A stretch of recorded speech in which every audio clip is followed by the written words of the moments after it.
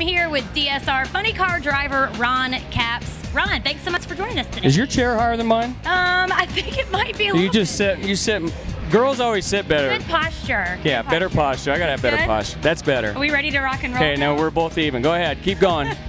Well, first off, let me say congratulations on your win in Sonoma. That was awesome. How did it feel? it was cool. It was such a relief. It was a year since we won last, and uh, what a relief. And John Medlen came on board. Um, we had a great race car. Went the final round the weekend before. It's just been.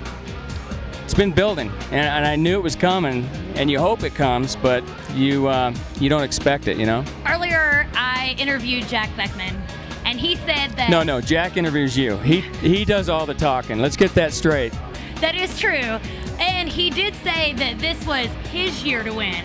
So, what do you have to say about that? Jack is a great guy, has great fans, um, but I'm sorry.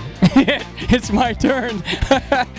uh, I like that answer. next question. Ron, your teammate Antron Brown has a funny story about a necklace he received a while back. We don't know the full story. Can you tell us some about it? He got a what he likes to call a um, a redneck necklace that a fan gave him in Bristol, Tennessee. I could say redneck on here because Antron said the fan told him it was a redneck uh, necklace. And I'm going to tell you, he gets his necklace. The guy made it, right?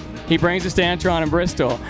It's got all these beads and stuff on it. It's got this red thing about that long, and it kind of has a little swoop to it. Mm-hmm. Well, come to find out, that little red thing was a raccoon's pee-pee.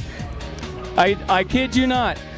So Antron didn't know what to do. He didn't know whether to wear it or give it back or you're supposed to touch it. But apparently, but the funniest part is when he's doing the driver introduction and he tells this whole audience, I'm, I'm rolling on the ground. Before he could even say it, when he said it had a little red thing, Matt Hagan turned to me and he goes, There's a raccoon's pee-pee. And I said, Okay, now I'm scared. Ron, some of your crew guys are featured in the Full Throttle ESPN 2 commercials.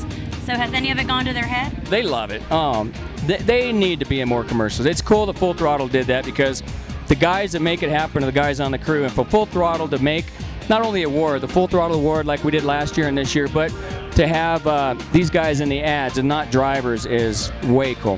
What did you think when you first saw the script for the Napa Know How commercial? Oh man, I thought Glee Club. It's reminded me of that show on TV, and I thought this is not going to be funny. They say it's going to be funny. I still will watch it when it comes on, and I still laugh at myself doing the Napa Know, and it's just it was. It was like three hours of doing that with this guy face to face, and I felt like the biggest dork doing it. And I, I kept saying, please, God, let this be funnier And it feels like it is right now, because it doesn't feel funny. But uh, the fans love it. We do know you're a good singer, so do you have any other hidden talents we don't know about? Um, not on this show. I do have some hidden talents. Want to see more Full Throttle TV? Check us out online anytime at NHRA.com.